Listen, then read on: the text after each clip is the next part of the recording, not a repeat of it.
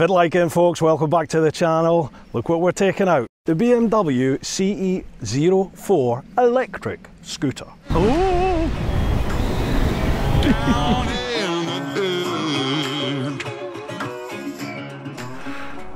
okay, so that is recording. So sync up the 360 with helmet cam, sync them up one, two, three. This is the game I have to play, Si. This cockpit cam, helmet cam, sync them up one, two, three. Right then folks, we're back here at Arden's in Tunbridge Wells and look what we've got to play with. Yep, we're going electric on an electric scooter. This is the eleven and a half thousand pound. Actually, this one is more like fourteen and a half thousand pounds. The BMW CE04. Now look at it. I mean, it looks like a, a futuristic scooter and that's exactly what it's meant to be. This is the market this thing's going for. You sort of T-Max commuting market. And that's exactly where it's aimed. So today, I'm taking it out on the open road with my mate Si. right, we are, we are going to uh, head out and see what this thing's like. So, starting, you've got to have the side stand up, it's keyless. I have to pull in the, the brake, which is on the left, there's no clutch. To push, that's us ready to go. And that is us. Eerily silent. After you, Si and off we go. Now Si is leading the way, so uh, anyone who's ever ridden with little Si will know, who knows where we're going to end up. Now this thing is at 76% charge, it's not at 100% sadly.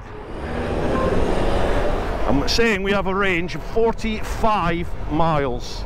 I'm currently in road mode. Now this thing has eco mode, rain mode, road mode and dynamic. The switch gear is all very... Oh, where's Sally going? The switch gear is all very BMW-esque. So if you've ridden any BMWs, you'll know exactly what to expect.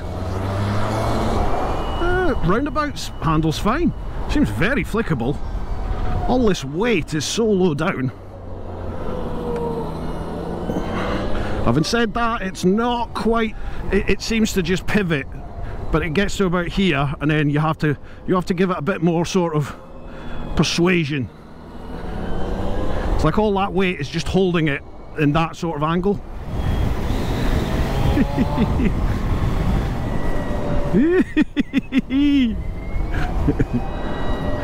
okay, I'm bored of road mode. Feels a little bit gutless to me. let's whack it into dynamic uh, right so I'm pretty much flat out 60 odd miles an hour that is it will it go any quicker yeah you might get 70 out of it but I'm already down to 41 mile range. This is meant as a, an urban commuter so this is meant not really to be out here on big dual carriageway motorways. It's not meant for motorway speeds and things. Sorry Si that's me flat out mate. The little Si has got the 360 camera on, but um, he hasn't quite he hasn't quite fathomed that he needs to be quite close to me. And every time I try to sneak up behind him, he just takes that as I want to go quicker and he zooms off. okay, let's get back to that price. 11 and a half grand for the standard bike. 11 and a half thousand pounds for a bike which has a full range at 100% charge of around about 80 miles. Bear in mind this is this is meant to be riding in the cities where equivalent electric motorcycles although I'll give it that. The likes of the Zero and the Energica they're probably twice the cost of this actually thinking about it.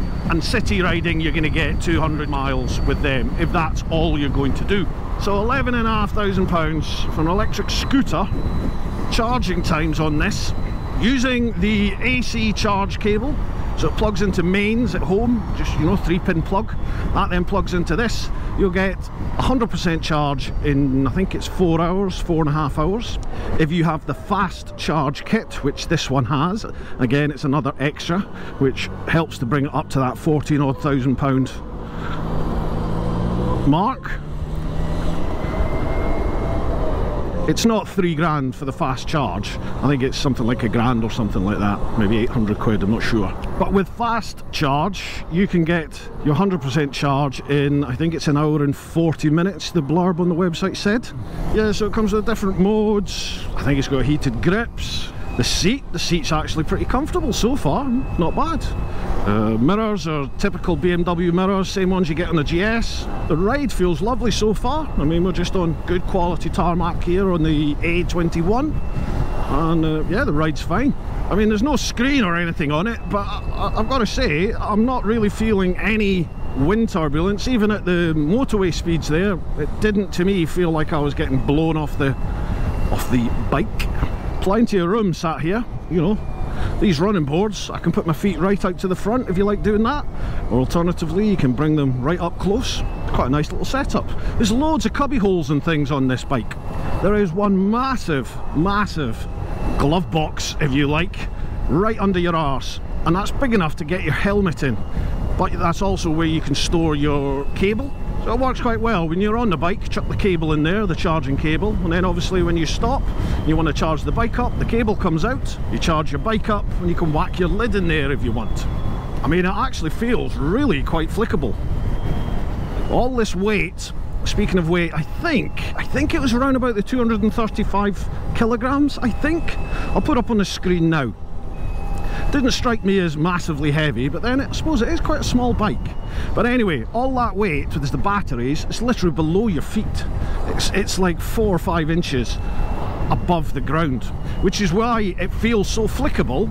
But then when you get to roundabouts, and you need to lean that little bit further it's a little bit like a weeble you know it's it's really comfortable pivoting like that but if you want to just kick it that little bit further you just have to give a bit more body input and it will go round it's fine you don't actually need to use the brakes. You can just ease off the power and the regen on it does the job for you. I've not I don't think I've had to use the brakes yet. Speaking of brakes obviously there's no clutch. So you have a the left handlebar the left brake there that's your rear. And the right is your traditional front. Got up to 73 miles an hour now slight downhill down to 32 miles already. And we've definitely not come 13 miles yet Now something I have noticed, obviously Si's leading the way here and he's got sat nav. I was looking and thinking, where the heck would I mount my Ultimate Add-ons sort of phone case? There's nowhere to mount it on this, is there? I think the idea behind that, it's got the lovely great big screen like the um, new RTs have. And if you use the BMW Connected app, you can have turn-by-turn -turn navigation on that screen. But if you're like me and you use something like Calimoto, then you're probably going to have to rely on the voice navigation, which I hate doing. I like to see where I'm going. Oh, just made it before the solids. Ah, we're going to Bodiam Castles, a lovely calf there. I'll treat a little Si to some brekkie. Well, more like brunch now, actually. I was late. For a change, I was late. But this is not a bad place to be. Really not bad at all. I've actually not ridden the likes of the, the T-Max and those, those sort of bigger style commuters, commuting scooters. But this here is just not bad at all. That's wee Si that I set up my touring company Chicken Strips with. He's not actually managed to come away on any tours as yet and I can't send Si away by himself because he's got zero sense of direction.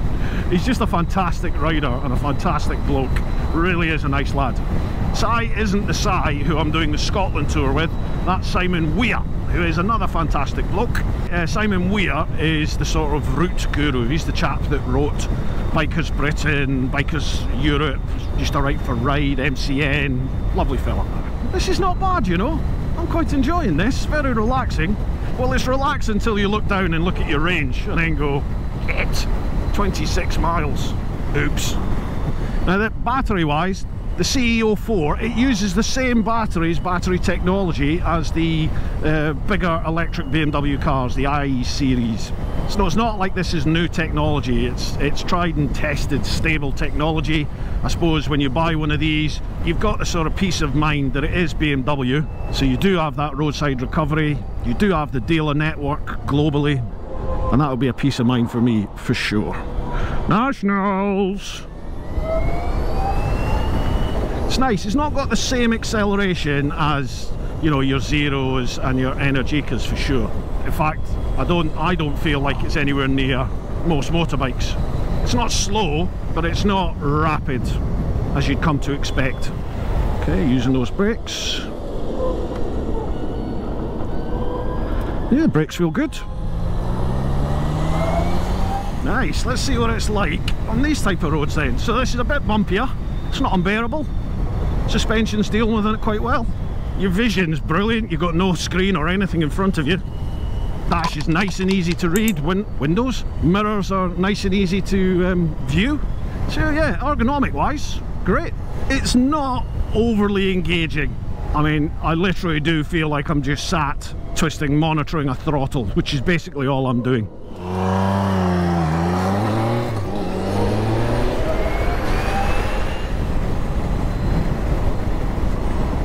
But it's, it's certainly relaxing. You're going to have to go some to get busted for speeding on this, that's for sure. it's not as engaging as a proper a proper bike. That sounds bad. I don't mean it to be derogatory like that but do you know what i mean? It's not as engaging as like other electric motorbikes that i've i've ridden. But then this has got very small wheels. It's a different sort of riding position. It's a different ergonomics. It's not going to ride like a traditional motorbike. If you come from your scooter background then yeah you'll be used to this oh yeah that that deceleration when you um, when you uh, roll off the throttle, it is like using the brakes. You just do not need the brakes. Mind you, a lot of electric bikes are like that, and it's probably because I'm in dynamic as well. Let me, let me whack that in. So in rain mode, yeah, rain mode, rain mode there's not as much regen, not as much sort of engine braking if you like. So when I roll off the throttle, see we're just, so I have to use the brakes much more in rain mode. I thought that. I wondered if these riding modes would affect the regen. So obviously when you put it in dynamic, the second you come off the throttle, it's engaging maximum, maximum uh, regen. Yeah, you feel it straight away. Yeah, it is almost like you're dragging a brake. Bodiam Castle, and we have 23 mile range. So, let's see, you never know, this place might have an electric charge. Let's have a look. Castle, tea room, just go here, mate. Off. Off. Side stand down. And there we go. So yeah. Have a little look in the sunshine. This is the this is the glove box. Look. Maybe I have to switch that on. See that? Apparently you can get a lid in there, but that's where you chuck your cable. And then it charges in there. So that's where you chuck your charging cable. But you can see that's not fast DC charge, that's AC. Uh, oh, it's got a little power source there. What is that? Oh, it's a DIN socket. BMW always do that. They put DIN sockets on. Nobody uses DIN anymore, but they've got that. Um, oh, USB-C charger there. You can put your phone in. That's pretty cool. Hmm. So that's it. Right, so the next thing, we've got to try and find somewhere to charge it up. See you, mate. Okay, so this has a reverse, believe it or not. So to put it in reverse, you uh, push the R, push and hold the R, and see the R comes up on the screen there. And then you use the throttle to come back. And now I've got to get back to Arden BMW. The range says 24 miles. According to Google Maps, I'm having to use Google Maps on this. I can't afford to do the Twisty Cali route. I've got to get there. It's 18 miles to get to Arden. So let's see. Now I'm hoping my phone is synced up via the Cardo to give me voice directions. Otherwise I will get lost. Turn right. There we go. Right, turn right. Thank you, Mrs. Google. It's blooming hot, I'll tell you that. 23 degrees. I was having a little chat with wee Si there, and yeah, I think I have been a little bit unfair on it in regards to cost. I mean, don't get me wrong, 11 and a half to 14 odd grand is a lot of money, but I think this is aimed at your, your BMW crowd, your city workers, bit of extra cash, they want to fly the flag as the sort of eco-warrior types go, that was nationals, do their bit for the old environment. I suppose this makes sense for them in that sense. You can even put a pillion on the back here. Don't know if I'd want to be pillion because you're sort of just perched on the back there. It's almost like an afterthought. but this quarter of a mile, Turn right. Thank you, Mrs. Google. She, her, him, they, whatever you want to be called. Don't get me started. Turn right. I am turning right, don't worry. You really don't need brakes. You genuinely don't need brakes. Cripps Corner. Where do the bloods hang out? Ooh, topical, topical smart. Continue on Junction Road for one mile. I will. Now, I never normally do this. I never normally rely on voice navigation. I switch all that off normally. Certainly when I'm using Cali, I don't use it. People have, have mentioned to me that the voice navigation on Calimoto can be a little bit slow. Well, you, you can speed all that up. And I'll do a vid on that showing you how. So check out the Cali playlist and see if I've done that vid yet. It'll be in there. So look, that's me. This is us on the National. And that's me, sat at 60. It's perfectly fine. In half a mile, turn left. Okay, I will, thank you.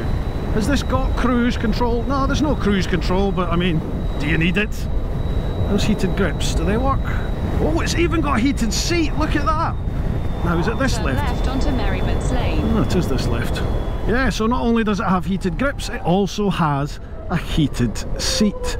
And again, you don't need brakes. Continue on Merriments Lane for one and a half miles. That's just coping fine, suspension wise, coping fine with these sort of bumpy back lanes, no real cause of concern, but I still maintain this is not what this bike is meant to do. This is an urban bike, this is for town and city riding. And I'll be honest with you folks, I'm not sure if we're actually going to get to that type of riding. I should have taken this into the town. I got a little bit excited to be honest with you. Went, oh, I'm going for a ride. I should have plotted a route through towns. Not the best environment to go out riding on a bike, but that's what this bike is designed for. It's a commuter, isn't it? But I'll tell you, this thing is incredibly nimble. I mean, it really is.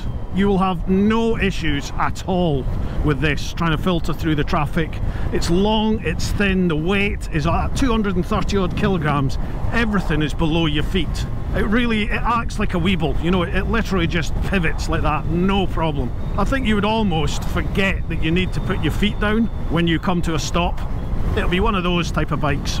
If you want to see what it's like charging an electric bike up, I've done umpteen different vids on electric bikes. So you watch any of them and that'll show you, you know, the charging process. The main issue these days with electric chargers is, is it going to be available? And the other thing is, is the charger actually working? That's that's something we found on um, Motorbike TV. Is that a lot of these charging points, they're not really maintained to any degree.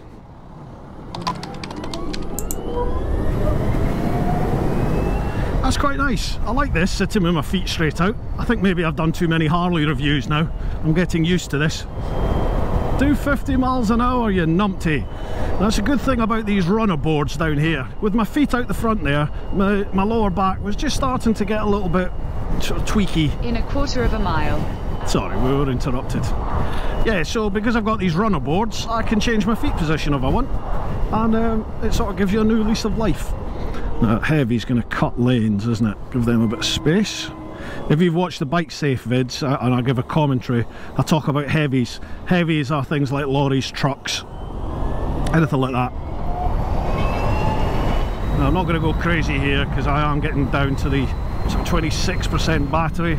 I'm assuming this is going to be like the other electric bikes. With them, once you get below 20%, performance is severely restricted. So ideally with electric, electric you want to keep between sort of 20 and 80% charge and you top up fairly regularly and often and that way, certainly with the, the likes of Energica and Zero bikes, with those fast chargers, you can get away with a quick 5 minute, 10 minute blast and you know, off you go again. Exit the roundabout. I have done. But people nod and I'm on a scooter, an electric scooter, but they won't nod when I'm on a GS. Everyone's got GSs now. I know everyone used to say it. They used to call GSs clitoris bikes, didn't they? Because everyone had one. well, it seems these days everyone has a GS. They're everywhere. I don't like being one of the crowd. Am I going to have to change? I don't want to change though. I, I like my tractor. And there's the new ones coming out. Oh, the 1300, the 1300 Sport. And what's this whispers about the 1400? 1400! I don't know what to do because old Heidi, my tractor, her three-year finance is due next June. So I'm gonna have to get another bike. But I don't really want to get one of the new ones straight away because, you know, they might have issues. New bikes tend to have issues and I'd, I'd rather let everyone else do the, the, the gutter work for the first six months and sort all the problems out and then I just swan up and, and pick one up that's perfect. I might have to throw myself on the sword and go for one of the first ones. We'll see. I might be unemployed by then, you never know. Oh, we're down to 8 miles. 17% charge. I don't think we're more than 8 miles away. I'm getting a bit nervous now. I've got to admit, I was a little bit cocky when we first set off and thought, ah yeah, plenty. Plenty of room for error. Mm, we are going to be very close. Charging level low, travel to travel uh, charging station. I am, it's called Arden BMW. I'm going to have to just sit at about 50 now. Oh, I don't like it. I don't like it. Sorry everybody, sorry. Oh God, am I going to have to push this? oh my God, my phone's disconnected now. I know where I am. Oh, she's back. Hi. Hi Google. The exit on the left. What exit?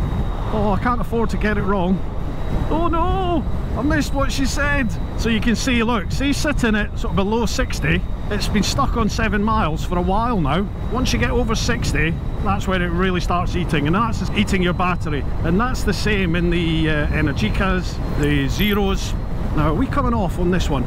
Tell me. Mm, She's not said anything.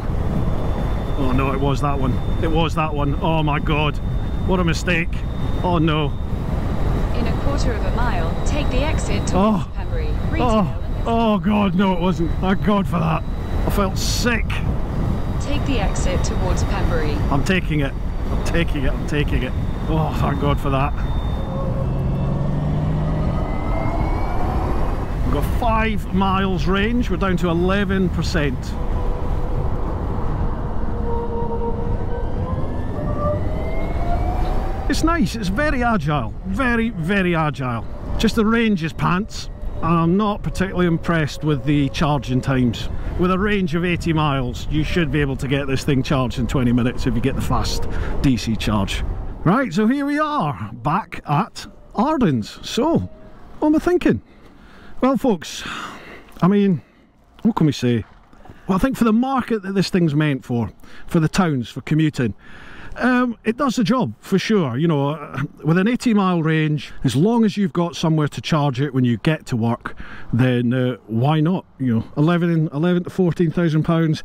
It's a lot of money, but then what's your competition? The T Maxes, what are they running at? They'd probably be around about similar, I would think, for a brand new one.